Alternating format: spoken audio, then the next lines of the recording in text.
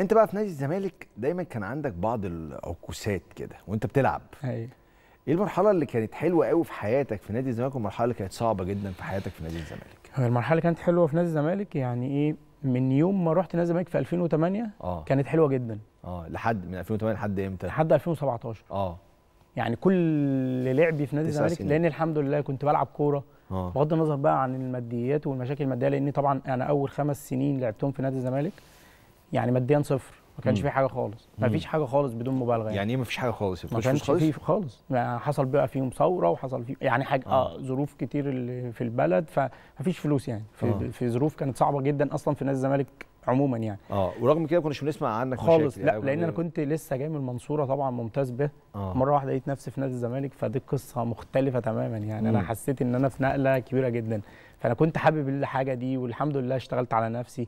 من تاني موسم ليا كنت في منتخب مصر مع الكابتن حسن شحاتة أول صح. مباراة ليا في 2010 في منتخب مصر مع الكباتن بقى ما عدلكش المنتخب بقى تريكا وأحمد عيد عبد الملك وائل جمعة كابتن حسام الحضري كابتن عبد الواحد يعني مع احترامي الناس كلها كباتني فأنا أقصد إن أنا يعني عشت الحاجة كويسه آه. لحد 2013 كانت الثورة قامت في مصر بس أنت أنت قلت لي حتة دلوقتي آه، خلتني بقى إيه أسرح شوية.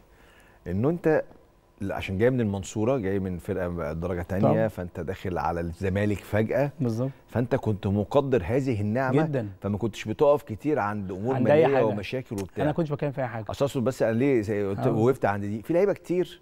آه طبعا. بصراحة كلهم لعيبة عظيمة. بس ما كانوش يحلموا يلعبوا مع الزمالك أو الأهلي. ولما الحلم ده يتحقق تلاقيه هوبا بس بقى. هو ممكن الزمن اتغير الله أعلم يعني إيه آه. الأوضاع. بس أنا بقول لهم نصيحة لأن أنا جربت.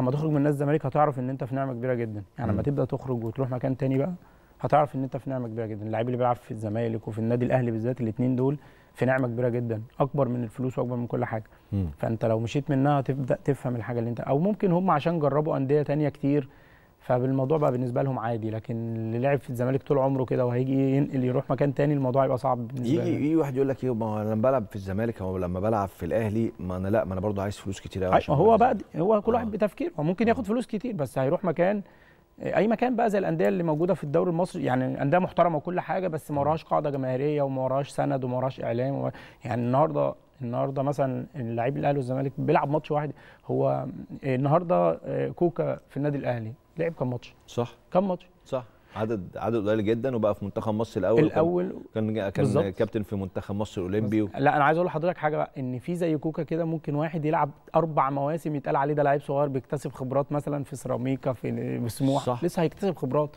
عشان- أربع سنين عشان. أنت مش حاسس بيه قوي ما فيش حد شايفه ولا حد عارفه. آه. ده لسه صغير 20 سنة وهيبدأ يلعب سنة واثنين وثلاثه وال- والنادي بتاعه بيقول عليه ناشئ. صح. النهارده كوكا في النادي الأهلي ماتشين في منتخب مصر.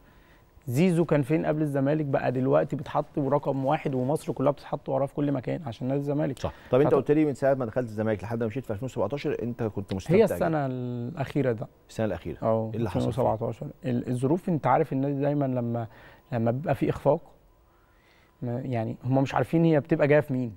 آه بت... ما ما بتيجي في مين. آه. يعني مثلا اكون ماتش ما بلعبوش مش في التشكيل أصلا ويشيلك أنت الخسارة. يا جماعة أنا مالي؟ أنا قاعد آه. بره أصلا آه إيه أصل مش عارف إحنا هنمشي إبراهيم هتمشي إبراهيم ليه مم. ده إبراهيم ده كابتن من كباتن النادي وشالكوا كتير وشلت كتير يعني آخر سنة دي اللي كان الظروف فيها وحشة لأن التيم كله وقع والمستويات كانت صعبة جدا ومفيش بطولات فهم عايزين حد بقى يشيل الموضوع فتعالى في إبراهيم لا ما تجيش في. إبراهيم كانت يقال دايما إنه كباتن نادي الزمالك بالظبط. كباتن نادي الزمالك على مدار سنوات مش بس حتى في الفترة بتاعتي دي دايما بيشيلوا مسؤولية آه. أصعب من أي كباتن أخرى. بالظبط ما هي دي الحقيقة إنه أنت فجأة أي آه. مشكلة أنت اللي شايل القصة. بالظبط ما هي دي اللي أنا بتكلم فيها. يعني أنا آه. مثلا في من من 2014 15 اللي هي أعظم سنة لعبتها بقى في نادي الزمالك اللي خدنا فيها دوري وكاس مع مستر فيريرا دي 2014 إيه الحياة مختلفة تماما. الحمد لله بتحط والفريق كله بيتحط فوقيا وأنا كابتن الفرقة وكل حاجة وخدت دوري وخدت كاس وخدت سوبر وخدنا كل حاجة ولعبنا نهائي أفريقيا. الأمور دي كلها كويسة. ففي سنة واحدة الأمور دي كلها بتتغير معاك. فأنا يعني حتى في الوقت ده خدت الأمور ببساطة جدا مع إني كنت لسه مجدد عقدي ثلاث سنين مع نادي الزمالك. استأذنت المستشار مرتضى أنا بعد إذنك عايز أمشي والأمور جت بال- بالتراضي كده ومشيت لأني كنت حاسس إن أنا هبدأ أدخل في مرحلة مش حلوة. والجماهير اللي بتحبك جدا تبدأ تزعل. منك. بالظبط. فأنا قلت آه. لا أنا كده كويس جدا ألعب في مكان تاني وبرده الناس مرتبطة بيا وبيحبوا نادي الزمالك لحد النهارده ف... فده بالنسبة لي هو المكسب الكبير يعني اللي أنا كسبته من الكورة عموما.